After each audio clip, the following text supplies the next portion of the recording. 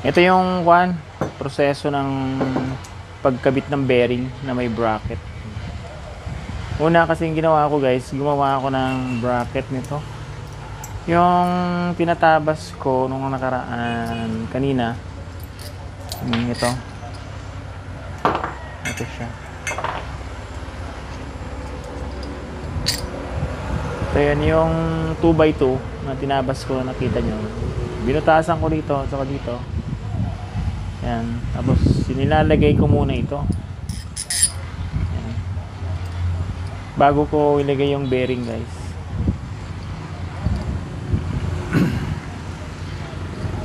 Ilagay muna to. Pag ilagay mo ng bearing dito, no? Nasa ilalim na to. Kailangan mauna muna to bago ito. Pero bago mo ilagay ito, kailangan may washer. Washer dito. Ayan. Washer siya. Para itong bearing hindi dumikit dito. Para umikot siya, kailangan may washer. Kasi pag ginigpitan mo na tong bu- tornilyo na to, yung nut, itong bearing hindi sasayad dito sa bracket. Ayan. Tapos, ganun din ito. Hindi same ang pagkagawa. Ilagay na natin. Pasok natin dito muna. Pasok natin dito, no? Ito, may butas na yan. Ayan, pasok natin yan. Ayan, ayan. Lagay natin yung. Nut, nut, nut, nut. Oras ko, lasing ko na naman. Oo. Tapos ito guys. Pasok mo na to. Ito bali ito bali maluwag to dito. Pero okay lang. At least ano pumasok. Ayan, malug-lug siya. Pero pwede lang kasi ano naman, hindi naman sensitive yung ilalagay natin. Ito, lagay na natin dyan. Ayan guys, kabit na natin.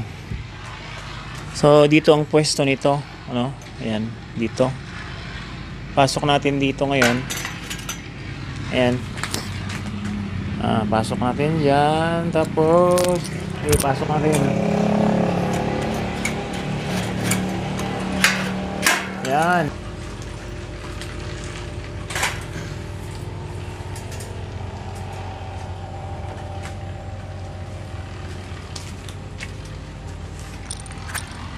Ayan guys.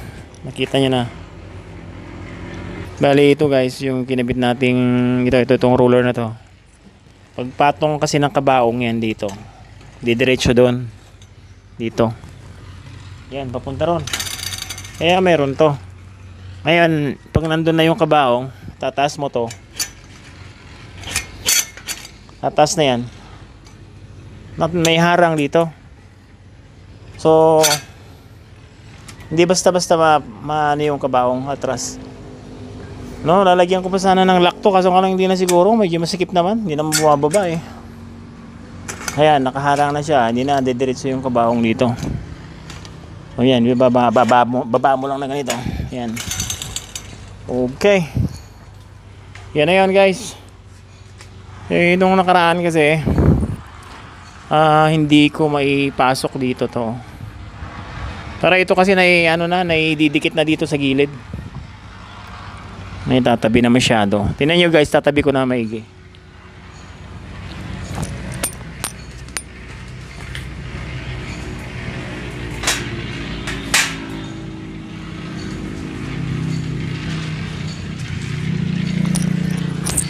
Ayan guys, naitatabi na ng maigi.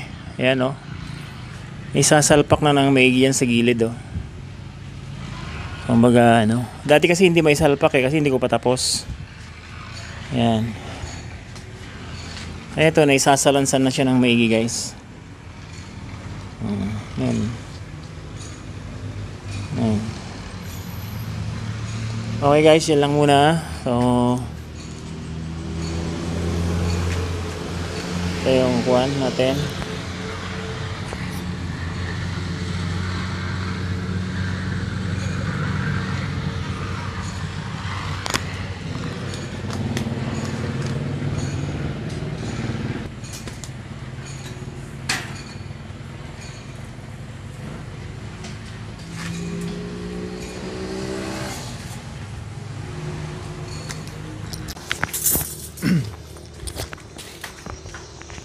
Hello guys, good morning.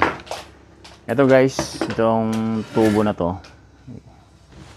Eh, pumutol ako ng ano, 2 and 3 fourth.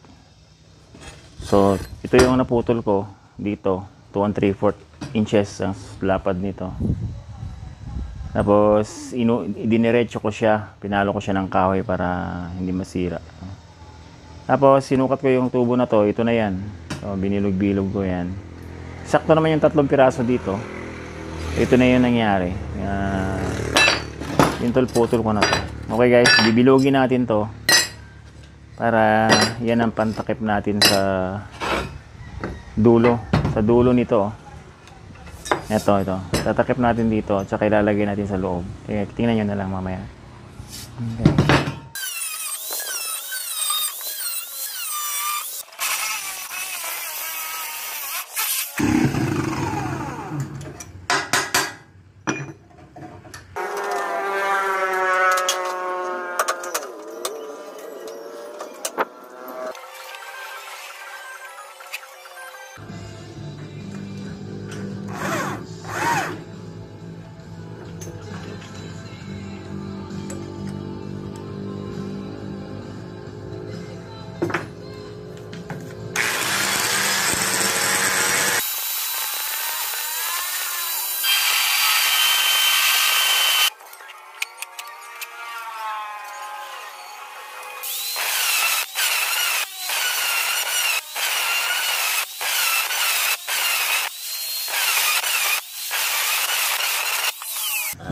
2x2 na square tube tapos yung 1 and a half na tubo na stainless. Uh, pinating ko mga 1 inch lang yan.